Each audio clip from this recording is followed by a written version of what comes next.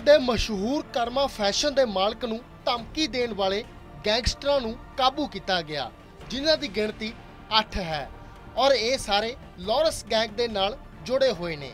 ਤਾਂ ਪੰਜਾਬ ਪੁਲਿਸ ਨੂੰ ਵੱਡੀ ਕਾਮਯਾਬੀ ਹਾਸਲ ਹੋਈ, ਲਾਰੈਂਸ ਬਿਸ਼ਨੋਈ ਗੈਂਗ ਦੇ 8 ਗੈਂਗਸਟਰਾਂ ਨੂੰ ਗ੍ਰਿਫਤਾਰ ਕੀਤਾ ਗਿਆ। ਮਸ਼ਹੂਰ ਕਰਮਾ ਫੈਸ਼ਨ ਦੇ ਮਾਲਕ ਨੂੰ ਇਹਨਾਂ ਦੇ ਵੱਲੋਂ ਧਮਕੀ ਦਿੱਤੀ ਗਈ ਸੀ। ਪੁਲਿਸ ਨੇ ਇਹਨਾਂ ਪਾਸੋਂ ਤਿੰਨ ਪਿਸਤੌਲਾਂ 10 ਕਾਰਤੂਸ ਅਤੇ 4 ਮੈਗਜ਼ੀਨ ਬਰਾਮਦ ਕੀਤੇ ਨੇ। ਧਮਕੀ ਦੇ ਨਾਲ ਲਿਖਿਆ ਹੋਇਆ ਪੱਤਰ ਆ ਜਿਹੜਾ ਦਿੱਤਾ ਗਿਆ ਸੀ, ਨਾਲ ਜ਼ਿੰਦਾ ਰੌਂਦ। ਪੱਤਰ ਤੇ ਲਿਖਿਆ ਸੀ, ਜੇਪੀ ਤੇ ਐਲਬੀ।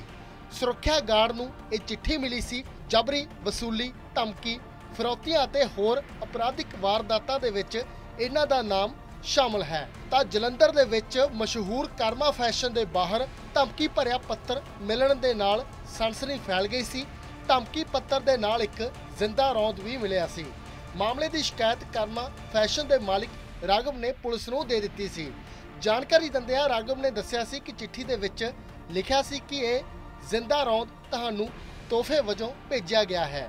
ਜੇਕਰ ਤੁਸੀਂ ਸਾਡੇ ਨਾਲ ਗੱਲਬਾਤ ਨਹੀਂ ਕਰਦੇ ਹੋ, ਤਾਂ ਅਸੀਂ ਇਸ ਰੌਂਦ ਨਾਲ ਤੁਹਾਨੂੰ ਨੁਕਸਾਨ ਪਹੁੰਚਾ ਸਕਦੇ ਹਾਂ। ਰਾਘਵ ਦੇ ਮੁਤਾਬਿਕ ਪੱਤਰ ਦੇ ਵਿੱਚ ਜੇਬੀ ਅਤੇ ਐਲਵੀ ਯਾਨੀ ਕਿ ਲਾਰੈਂਸ ਬਿਸ਼ਨੋਈ ਲਿਖਿਆ ਗਿਆ ਸੀ। ਇਹ ਚਿੱਠੀ ਉਸਤੇ ਸੁਰੱਖਿਆ ਗਾਰਡ ਨੂੰ ਮਿਲੀ ਸੀ। ਰਾਘਵ ਨੇ ਦੱਸਿਆ ਸੀ ਕਿ ਸੀਸੀਟੀਵੀ ਉਸ ਖੇਤਰ ਨੂੰ ਕਵਰ ਨਹੀਂ ਕਰਦਾ, ਜਿੱਥੇ ਇਹ ਧਮਕੀ ਭਰਿਆ ਪੱਤਰ ਸੁੱਟਿਆ ਗਿਆ ਸੀ। ਤਾਂ ਪੁਲਿਸ ਨੇ ਬਰੀਕੀ ਦੇ ਨਾਲ ਇਸ ਮਾਮਲੇ ਦੀ ਜਾਂਚ ਪੜਤਾਲ ਕੀਤੀ ਤਾਂ ਲਾਰੈਂਸ ਗੈਂਗ ਦੇ ਨਾਲ ਜੁੜੇ ਹੋਏ 8 ਗੈਂਗਸਟਰਾਂ ਨੂੰ ਗ੍ਰਿਫਤਾਰ ਕੀਤਾ ਗਿਆ। ਔਰ ਪੁੱਛਗਿੱਛ ਮੌਕੇ ਇਹਨਾਂ ਤੋਂ ਵੱਡੇ ਖੁਲਾਸੇ ਹੋਣ ਦੀ ਪੂਰੀ ਸੰਭਾਵਨਾ ਹੈ। ਇਹ ਜੀ ਕਰਮਾ ਫੈਸ਼ਨਸ ਅ, ਸ਼ੋਰੂਮ ਇੱਥੇ ਹੈ ਜੀ ਸਾਡੇ ਇੱਕ ਸ਼ਹਿਰ ਦੇ ਵਿੱਚ ਜਿਨ੍ਹਾਂ ਨੂੰ ਕਿ ਇੱਕ ਲੈਟਰ ਮਿਲੀ ਸੀ ਜਿਹਦੇ ਵਿੱਚ ਉਹਨਾਂ ਨੂੰ ਥ੍ਰੈਟ ਮਿਲੀ ਸੀ ਔਰ ਰੈਂਸਮ ਵਾਸਤੇ ਲਿਖਿਆ ਹੋਇਆ ਸੀ। ਉਸ ਕੇਸ ਨੂੰ ਸਾਡੀ ਇਨਵੈਸਟੀਗੇਸ਼ਨ ਟੀਮ ਨੇ ਕ੍ਰੈਕ ਕੀਤਾ ਜੀ। ਏਡੀਸੀਪੀ ਇਨਵੈਸਟੀਗੇਸ਼ਨ ਸਾਹਿਬ ਦੀ ਰਹਿਨੁਮਾਈ 8 ਏਸੀਪੀ ਕ੍ਰਾਈਮ ਏਸੀਪੀ ਸੈਂਟਰਲ ਤੇ ਏਸੀਪੀ ਇੰਸਪੈਕਟਰ ਸਪੈਸ਼ਲ ਸੈੱਲ ਜਿਹੜੇ ਸਾਡੇ ਹੈਗੇ ਇੰਦਰਜੀਤ ਉਹਨਾਂ ਦੀ ਟੀਮ ਨੇ ਇਹ ਸਾਰੇ ਕੇਸ ਨੂੰ ਬ੍ਰੇਕ ਕਰਕੇ 8 ਦੋਸ਼ੀਆਂ ਨੂੰ ਗ੍ਰਿਫਤਾਰ ਕੀਤਾ ਔਰ ਉਹਨਾਂ ਦੇ ਕੋਲੋਂ ਭਾਰੀ ਮਾਤਰਾ ਦੇ ਵਿੱਚ ਅਸਲਾ ਐਮੂਨੀਸ਼ਨ ਬਰਾਮਦ ਕੀਤਾ ਜਿਹਦੀ ਤੁਸੀਂ ਦੇਖ ਹੀ ਲਿਆ। ਇਹ ਵਿਅਕਤੀ ਕੌਣ ਕਿੱਥੋਂ ਗ੍ਰਿਫਤਾਰ ਕੀਤਾ ਹਾਂਜੀ। ਤੇ ਕਿੱਦਾਂ ਪਤਾ ਲੱਗਾ ਤੇ ਕਿੱਥੋਂ ਕਿੱਥੋਂ ਇਹ ਘਾਟ ਤੋਂ ਗ੍ਰਿਫਤਾਰ ਕੀਤਾ ਜੀ ਹਾਂਜੀ।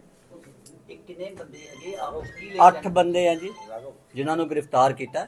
ਇਨਵੈਸਟੀਗੇਸ਼ਨ ਚੱਲ ਰਹੀ ਹੈ।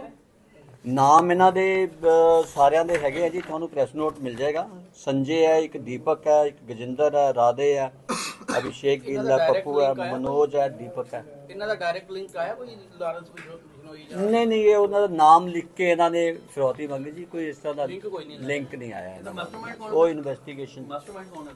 ਮਾਸਟਰਮਾਈਂਡ ਇਹਨਾਂ ਦੇ ਵਿੱਚ ਅਹ, ਜਿਹੜਾ ਇਹਨਾਂ ਦਾ ਮੇਨ ਬੰਦੇ ਸੀ ਜਿਨ੍ਹਾਂ ਨੇ ਡਿਲੀਵਰ ਕੀਤਾ ਸੀ ਉਹ ਤਾਂ ਮਨੋਜ ਐਂਡ ਰਾਧੇ ਸੀਗੇ ਜੀ। ਨੋ ਨੇ ਜਿਹੜੇ ਦੋ ਬੰਦੇ। ਵੈਪਨ ਲੈ ਕਿਥੋਂ ਦੇ ਡਿਲੀਵਰ ਕਿੱਥੇ ਕੀਤੇ? ਵੈਪਨ ਤੇ ਇਹਨਾਂ ਨੇ ਬਾਹਰੋਂ ਮੰਗਾਏ ਆ ਜੀ। ਬਾਹਰੋਂ? ਮੀਨਸ ਦੋ ਤਾਂ ਪਾਕਿਸਤਾਨੀ ਨੇ। ਇੱਕ ਉਹ ਬਟ ਇਹਨਾਂ ਦੇ ਲਏ ਦਾ ਇੱਥੋਂ ਗੰਗਾ ਨਗਰ ਸਾਈਡ ਤੋਂ ਨੇ। ਠੀਕ ਹੈ ਜੀ? ਔਰ ਕਿਸੇ ਜਿਹੜੇ ਬੰਦਿਆਂ ਤੋਂ ਲਏ ਨੇ ਉਹ ਹੁਣ ਇਨਵੈਸਟੀਗੇਸ਼ਨ ਦਾ ਹਿੱਸਾ ਵੀ ਕਿੱਥੋਂ ਲਏ ਕਿਵੇਂ ਲਏ। ਉਹ ਅਸੀਂ ਟਰੈਕ ਕਰਾਂਗੇ। ਆ ਲੈ ਫੜੇ ਇਹ ਸਾਰੀ ਕ੍ਰਿਮੀਨਲ ਪ੍ਰੋਫਾਈਲ ਵਾਲੇ ਨਹੀਂ ਇਹਨਾਂ ਦੀ ਬੈਕਗ੍ਰਾਉਂਡ ਕੋਈ ਐਜ਼ ਸੱਚ ਕ੍ਰਿਮੀਨਲ ਨਹੀਂ ਹੈਗੀ। ਤੇਨਾਂ ਦੀ ਫਰੋਤੀ ਮੰਗੀ ਫਸਟ ਟਾਈਮ ਫਰੋਤੀ ਮੰਗੀ ਕਿਸੇ ਤੋਂ? ਫਰਸਟ ਟਾਈਮ ਮੰਗੀ ਹੈ ਇਹਨਾਂ ਦਾ ਗੈਂਗ ਲਗਭਗ ਬਣ ਗਿਆ ਸੀ ਆਪਸ ਵਿੱਚ ਔਰ ਇਹ ਇਹੋ ਜਿਹੇ ਵਾਰਦਾਤਾਂ ਹੋਰ ਬਹੁਤ ਹੋਣੀਆਂ ਸੀ ਜੇ ਇਹ ਕੇਸ ਕ੍ਰੈਕ ਨਾ ਹੁੰਦਾ। ਜਿਸ ਤਰ੍ਹਾਂ ਇਹਨਾਂ ਨੇ ਲਿਖਿਆ ਸੀ ਲੈਟਰ ਵਿੱਚ ਲਾਸਟ ਵਿੱਚ ਲਾਰੈਂਸ ਬਿਸ਼ਨੋਈ ਤੇ ਗੋਲਡੀ ਬਰਾੜ ਤੇ ਕੋਈ ਲਿੰਕ ਹੈ ਜਾਂ ਬਿਲਕੁਲ ਨਹੀਂ? ਜੋ ਹੁਣ ਤਫਤੀਸ਼ 'ਚ ਦੇਖਾਂਗੇ ਜੀ ਪਰ ਹਾਲ ਤੱਕ ਕੋਈ ਲਿੰਕ ਜਿਹੜੀ ਸਟੈਬਲਿਸ਼ ਇਹਨਾਂ ਨੇ ਗੋਲੀ ਭੇਜੀ ਸੀ ਨਾਲ ਉਹ ਅਸਲੀ ਸੀ ਉਸ ਦਿਨ ਕਿ ਨਕਲੀ ਸੀ? ਉਹ ਅਸਲੀ ਸੀਗੀ। ਸ਼ਰਮਾ ਜੀ ਇਹਨਾਂ ਨੇ ਜਿਹੜੀ ਇਹ ਫਿਰੌ- ਫਿਰੌਤੀ ਮੰਗੀ ਸੀ 50 ਲੱਖ ਰੁਪਏ ਵਾਲੀ ਇਹ ਜਿਹੜੀ ਅਹ, ਇਹਨਾਂ ਨੂੰ ਕੋਈ ਡਾਇਰੈਕਟ ਫੋਨ ਵੀ ਕੀਤਾ ਹੈਗਾ ਕਿ ਸਿਰਫ ਚਿੱਠੀ ਗਈ ਸੀ? ਚਿੱਠੀ ਗਈ ਸੀ ਉਸ ਤੋਂ ਬਾਅਦ ਚ ਫੋਨ ਵੀ ਆਇਆ ਸੀ। ਪਹਿਲਾਂ ਕੋਈ ਫੋਨ ਦਸੰਬਰ ਲਾ ਨਹੀਂ ਪਹਿਲਾਂ ਫੋਨ ਨਹੀਂ ਕੀਤਾ ਸੀ ਪਹਿਲਾਂ ਚਿੱਠੀ ਦਿੱਤੀ ਹੈ ਜਿਹੜਾ ਇਹ ਬੰਦਾ ਕਹਿੰਦਾ ਲਾ ਦਸੰਬਰ ਚ ਵੀ ਇਹਨੂੰ ਫਿਰੌਤੀ ਦੀ ਕਾਲ ਆਈ ਸੀ ਕਿ ਉਹ ਇਹੀ ਬੰਦਾ ਨੇ?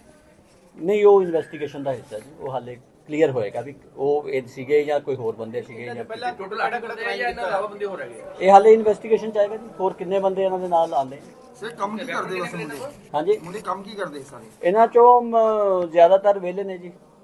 ਕ੍ਰਾਈਮ ਨੇ ਪਹਿਲਾਂ ਕੋਈ ਅਟੈਂਪਟ ਕੀਤਾ ਕ੍ਰਾਈਮ ਨਹੀਂ ਪਹਿਲਾਂ ਕੋਈ ਕ੍ਰਾਈਮ ਅਟੈਂਪ ਖਾਤਾ ਕੋਈ ਕ੍ਰਿਮੀਨਲ ਹਿਸਟਰੀ ਆਈ ਨਹੀਂ ਸਾਹਮਣੇ ਇਨਵੈਸਟੀਗੇਸ਼ਨ ਹੋਏਗੀ ਤਾਂ ਫਿਰ ਪਤਾ ਲੱਗੇਗਾ ਵੈਪਨਸ ਵੈਪਨਸ ਮਿਲੇ ਨਾ ਹਾਂਜੀ ਹਾਂਜੀ ਮਿਲੇ। ਸਰ ਤਿੰਨ ਜੀ ਪਿਸਤੌਲ। ਸਰ ਕਰਮਾ ਫੈਸ਼ਨ ਨੂੰ ਵੀ ਕਿਉਂ ਇਹਨਾਂ ਨੇ ਸ਼ਹਿਰ ਦੇ ਵਿੱਚ ਡਿਫਰੈਂਟ ਬਿਜ਼ਨਸ ਹਾਊਸਿਸ ਦੇ ਬਾਰੇ ਰੈਕੀ ਕਰ ਰਹੇ ਸੀ ਇਹਨਾਂ ਦੇ ਪਹਿਲੇ ਉਹ ਆ ਗਿਆ ਹਾਂ ਫਰਸਟ ਟਾਰਗੇਟ ਉਹ ਆ ਗਿਆ ਕਿਸ ਤਰੀਕੇ ਨਾਲ ਆਇਆ ਹੁਣੇ ਤਫਤੀਸ਼ ਆਏਗਾ ਕਿ ਉਹਨਾਂ ਨੇ ਉਹਨੂੰ ਹੀ ਕਿਉਂ ਚੁਣਿਆ ਹੋਰ ਕਿਸੇ ਨੂੰ ਕਿਉਂ ਨਹੀਂ ਕਰਮਾ ਪਹਿਲਾਂ ਫੈਸ਼ਨ ਚੁਣਿਆ ਵਾਲੇ ਦਾ ਇਹਨਾਂ ਦਾ ਕੋਈ ਲਿੰਕ ਆਪਸ ਵਿੱਚ ਨੈਟ ਕਿਸੇ ਦੇ ਨਾਲ नहीं ਇਹਨਾਂ ਦੇ ਨਾਲ ਕੋਈ ਇਹੋ ਜਿਹਾ ਲਿੰਕ ਹਾਲੇ ਤੱਕ ਨਹੀਂ ਸਾਹਮਣੇ ਆਇਆ ਤਫਤੀਸ਼ ਦੇ ਵਿੱਚ ਅ, ਦੇਖਦੇ ਹਾਂ ਕੀ ਆਂਦਾ हमारे यहाँ एक कर्मा फैशन शोरूम है वहाँ पे एक लेटर मिली थी उनको जिसमें उनको धमकी दी गई थी और फिरौती मांगी गई थी उसमें हमारे एडीसीपी इन्वेस्टिगेशन आदित्य जी के निगरानी में एक टीम बनी थी जिसमें एसीपी क्राइम एसीपी सेंट्रल और इंस्पेक्टर स्पेशल सेल थे इंद्रजीत। तो इनकी टीम ने एक बड़ी कामयाबी हासिल की है, आठ लोगों को गिरफ़्तार किया जो इसमें इस वारदात में इन्वॉल्व थे। और उनसे भारी मात्रा में आर्म्स एंड एमुनिशन बरामद। सर कहा जा रहा था कि ये लॉरेंस बिश्नोई गैंग के साथ संबंधित है तो वैसा कुछ है? ये अभी तफ्तीश का हिस्सा है जी। अभी चेक करेंगे कि ये इनका क्या है। ये अभी तक कोई इनका कांटेक्ट एस्टेब्लिश नहीं हुआ। तो इनको पकड़ा कैसे कि आठ लोग एक साथ थे प्लान बना रहे थे प्लान बना रहे थे जी जी। तो पहले कोई इनके कोई क्रिमिनल रिकॉर्ड है इनका? नहीं अभी तक पहले कोई क्रिमिनल रिकॉर्ड सामने नहीं आया। तफ्तीश में देखेंगे क्या क्या कोई खास वजह से उसी कपड़ा व्यापारी को टारगेट किया ये भी तफ्तीश का हिस्सा है ये भी इन्वेस्टिगेशन होगी तो आएगा